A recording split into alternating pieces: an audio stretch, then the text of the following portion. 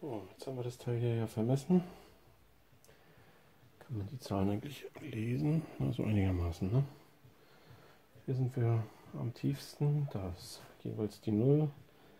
Alles andere steigt an. Das geht hier auf dieser Seite. Sind wir bis 23 Hundertstel höher. Ähm Hier drüben fangen wir bei 0 an, dann steigt es hier langsam. Hier sind es 9, 14, 15, 19. Was haben wir hier drüben noch? 15, 18. So, das heißt also, wir haben hier, hier sind unsere tiefsten Punkte und das geht nach da drüben gleichmäßig hoch. Ja, jetzt 23 Hundertstel wegzuschaben, da habe ich jetzt nicht so große Lust drauf. Ähm, Flachschleifmaschine habe ich nicht. Habe ich schon, also meine Kugelmüller, aber mit der kann ich das natürlich nicht machen. Und jetzt überlege ich mal, ob ich mit einem 60 Grad Schwalbenschwanzfräser die ganze Sache nicht noch ein bisschen überfräse, ohne die Schwalbenschwänze nachzuarbeiten. Nur die Fläche. Das ist natürlich ähm, schwierig, ich möchte nicht zu viel wegnehmen, weil dann kriege ich Probleme, wenn der Support eine neue Lage bekommt, passt ja auch die ganze Bohrung der ähm, Gewindespindel nicht mehr. Da müsste man, wenn man jetzt hier zu viel dran macht, müsste man das auch nochmal wieder nacharbeiten. Deswegen versuche ich wirklich nur das Nötigste zu machen. Und das bedeutet in diesem Fall möglichst nicht mehr als 23 Hundertstel wegzunehmen. So, dann gucken wir mal, was die Maschine an Genauigkeit so mit sich bringt. Wir mal hier so eine Parallelunterlage. Ja, die wackelt auch nicht, die liegt jetzt schön satt auf. Ähm, dann nullen wir mal die Messuhr. Okay.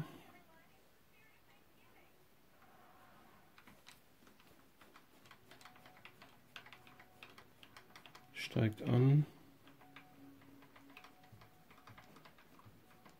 Okay, circa.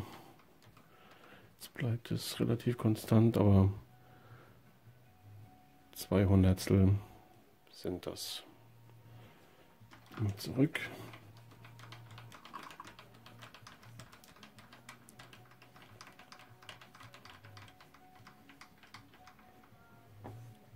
Kommen wir nicht ganz auf Null wieder zurück. Wahrscheinlich müssen wir den Ölfilm jetzt erstmal ausdrücken. So, da sind wir auf Null. Okay, 200 ist natürlich, ja, ist viel für das, was wir vorhaben. So, dann machen wir das nochmal in X-Richtung.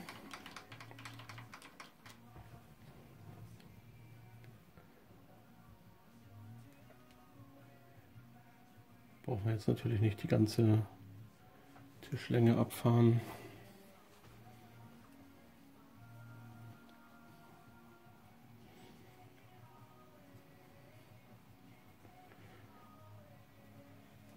So, das ist jetzt noch nicht ganz ein Hundertstel. Das bleibt relativ konstant. Kriege ich das jetzt noch ausgedrückt wieder? Ja, ein bisschen, es kommt aber wieder so, wenn ich den Tisch jetzt hier anhebe auf der linken Seite. Das macht nicht viel, das macht nur eine Strichbreite.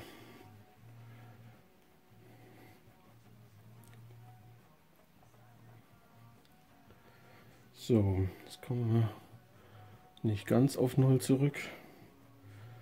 Ölfilm.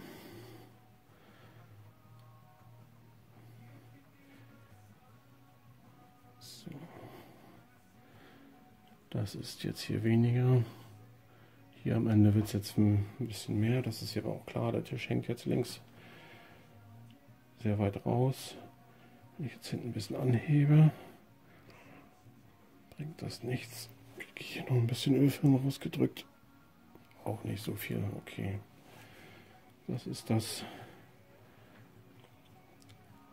was meine Maschine bringt. Ja, so, wenn wir jetzt aber den Support hier noch als zusätzliches Gewicht drauf haben, wird es natürlich ähm, noch ein bisschen schlechter, weil wir dann mit der Gewichtsverteilung ein bisschen ungünstiger liegen. So, also folgender Lösungsansatz. Ähm, wenn der Tisch still steht, dann ist zwischen dem Tisch und dem Fräser eine ganz definierte, ähm, ein ganz definierter Abstand. Wenn wir das Werkzeug jetzt durch diesen Abstand durchschieben, wird das Werkstück auf jeden Fall gleich dick. Natürlich ist das Problem, dass wir das Werkstück dann nicht spannen können, sondern freihändig führen. Da das jetzt aber Grauguss ist und ich jetzt mit ganz kleinen Zustellungen arbeite, sehe ich da nicht so das große Problem. Ich möchte euch bitten, macht das nicht nach. Macht es nur nach, wenn ihr euch ganz sicher seid, was ihr tut. Ich habe jetzt hier schon zweimal durchgeschoben, damit ich nicht hier live, an der Kam äh, live vor der Kamera sterbe. Ähm, man muss natürlich aufpassen. Ihr braucht auch keine Kommentare zu den Handschuhen schreiben. Ich muss in einer halben Stunde Armbrot essen. Deswegen habe ich keine Lust, ähm, mich dann eine halbe Stunde hinzustellen und mir die Graugussfinger zu schruppen. Deswegen habe ich schnell mal Handschuhe angezogen. Ähm, wer das nicht sehen kann mit Handschuhen an der Fräsmaschine, bitte weggucken. An der Drehmaschine würde ich keine tragen, aber an der Fräsmaschine ist mir das jetzt egal. Außerdem zerreißen die so schnell, ähm, da kann ja nichts passieren. So, ich lasse den Fräser mal mit moderater Geschwindigkeit laufen. Ich habe hier hinten ein Lineal und da schiebe ich jetzt das Werkstück ähm, einfach dran lang. Ich habe jetzt ungefähr ein halbes Hundertstel zugestellt. Ich weiß nicht, sieht man das jetzt in der Kamera? Hm, hier, wo die 0 war, sind wir jetzt ungefähr, na gut, hier stand die 1. Also ein bisschen könnte noch runter.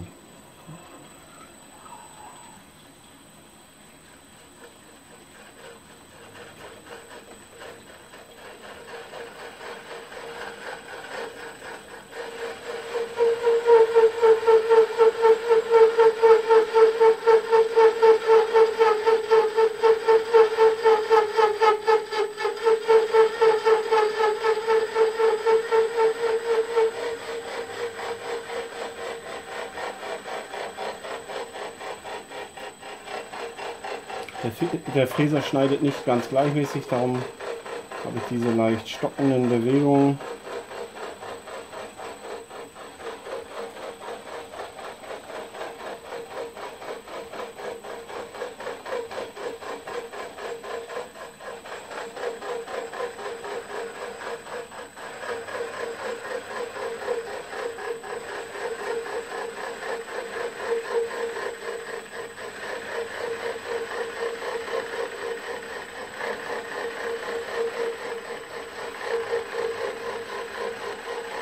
Also ich denke, das ist relativ ungefährlich, was ich hier mache. Auch dass ich jetzt mit meinem Daumen von euch aus gesehen hinter dem Werkzeug bin, sehe ich als unkritisch an. Da ist noch, sind noch zwei Zentimeter Luft.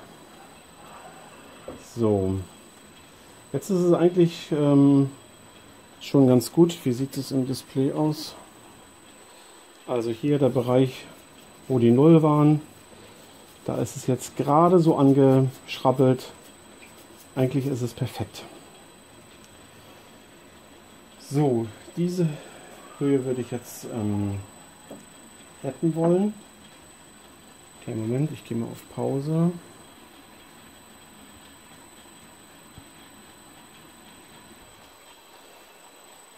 So, ich habe jetzt äh, ungefähr 10, 12 mm zugestellt.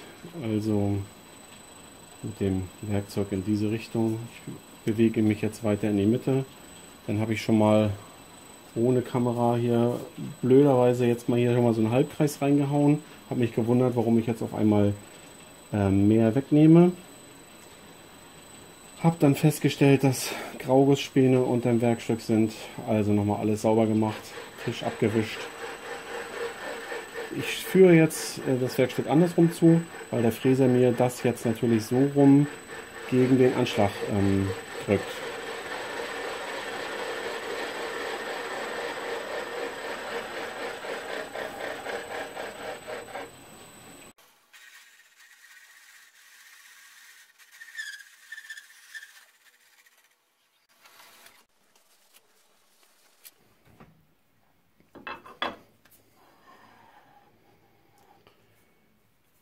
So, wenn ich jetzt noch einen Zentimeter zustelle, dann sind wir schon über die Mitte. So. Das heißt, erste Seite wäre dann schon geschafft. Rutscht das gut, ja. Das rutscht.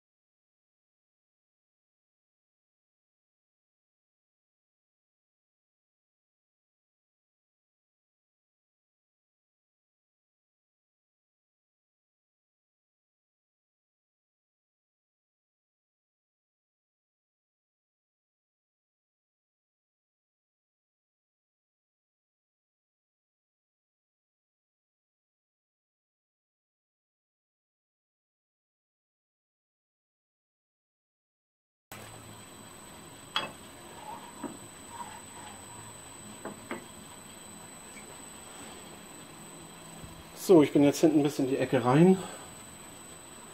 Ähm, man sieht jetzt hier auch, dass die, bis auf dieses Ding natürlich hier, dass die Fräsbahnen alle auf einer Ebene liegen. Also die Kreuzschnitte überlappen sich immer. So, jetzt machen wir dann den ähm, letzten Durchgang. Ich stelle mal hier ein halbes Hundertstel zu. Und dann gucken wir mal, dass wir hier mit möglichst wenig, mit möglichst wenig Bahnen auskommen.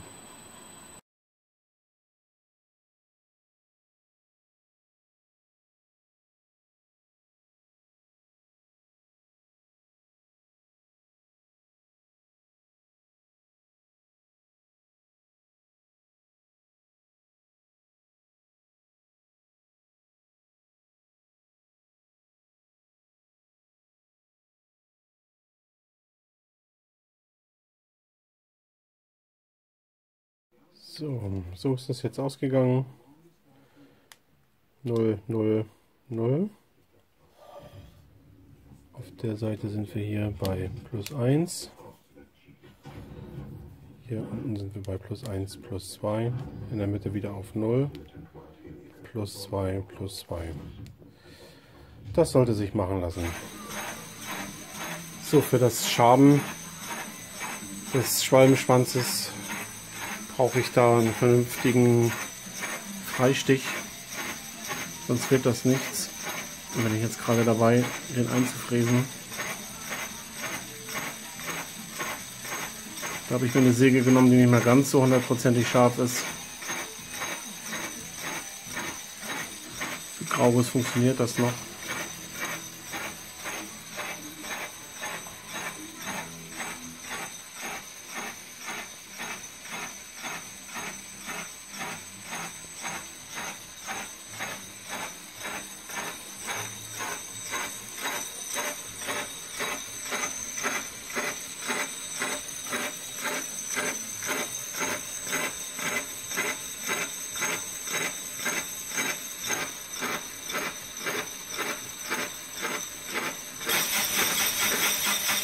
Ich habe jetzt mal ein bisschen schneller laufen lassen, die Maschine.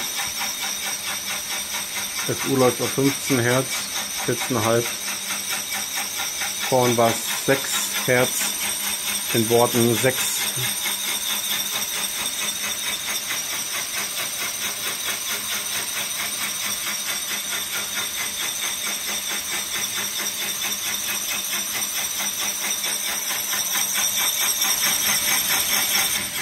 So, die zweite Seite genauso.